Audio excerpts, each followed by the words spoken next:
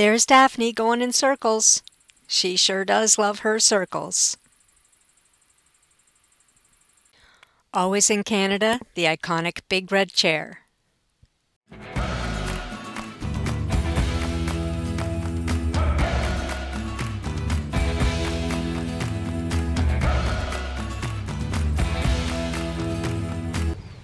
Good morning. So we are leaving Fort Qu'Appelle campground this morning and moving on to see some family and they're going to want to see the van and stuff so I'm getting it cleaned up. But I came outside and realized that was dumb. I had some wet shoes from taking Daphne for a swim last night and I left them outside to dry. They are soaking wet and can you see on the tablecloth like it's it's soaking wet. So drying things outside during the night is not a thing. it's not a thing. The sun is just setting as we are arriving in Manitoba.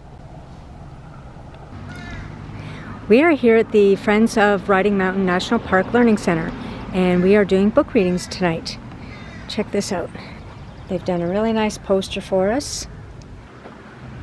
And how much fun is this? Hello, bear.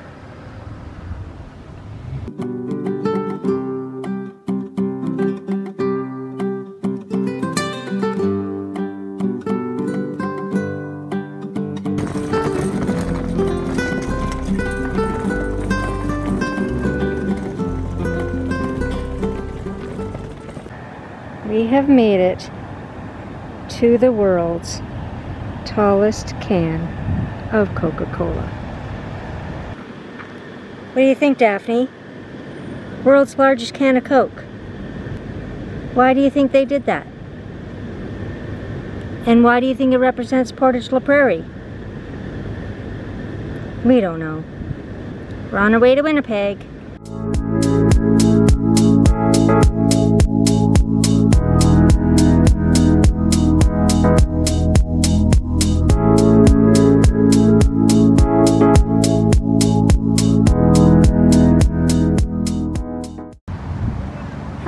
Has these chairs positioned in different national parks and at different national historic sites. So the challenge is to find them and enjoy the scenic view that they provide. So this is one at the Forks National Historic Site in Winnipeg, Manitoba. And there you go, view of the river from the red chairs.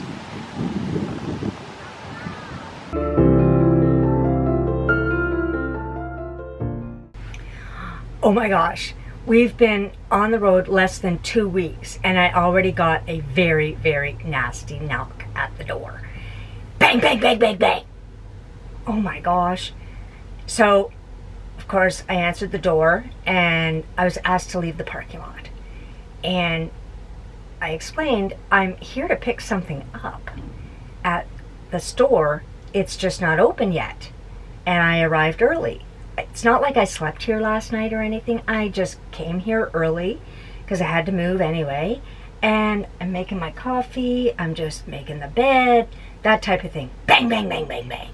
It was nasty. Anyway, when I opened the door, he was very nice. And when I explained, he was very nice. Just that we're in a very industrial area and they get a lot of situations come up that they do have to ask people to leave. So I get that. And he's getting my order ready and then I can be on my way. But wow, that was kind of shocking. If that happened in the middle of the night, asking me to leave when I'm sleeping, wow, that would be nasty. anyway, we're on to our day. I'm gonna look up the nearest grocery store because Daphne needs to eat and we are out of dog food. And then I just have to find a place to work. So a nearby park somewhere. That'll do. Look where we are. We're at the center of Canada. And of course, there's a nice big red chair for us. It's always a challenge for me to get up here, especially when I have Daphne with me. Hey? Vertically challenged and someone in my arms. Hey? On our way this afternoon to a market in Richer, Manitoba. So we are going to end things here. Thank you for joining us. We'll see you again down the road.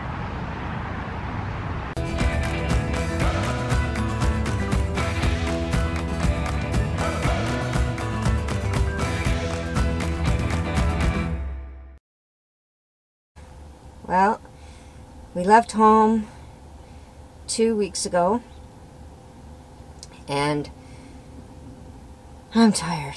Oh my goodness, I'm tired. We've been driving and driving, and we've been doing markets, and we've been figuring out how to organize things in the van. Setting up a new home is a lot of work. What goes where? What keeps things in place? that sort of thing. What do we need? What do we need to get rid of? Oh man, it's been busy.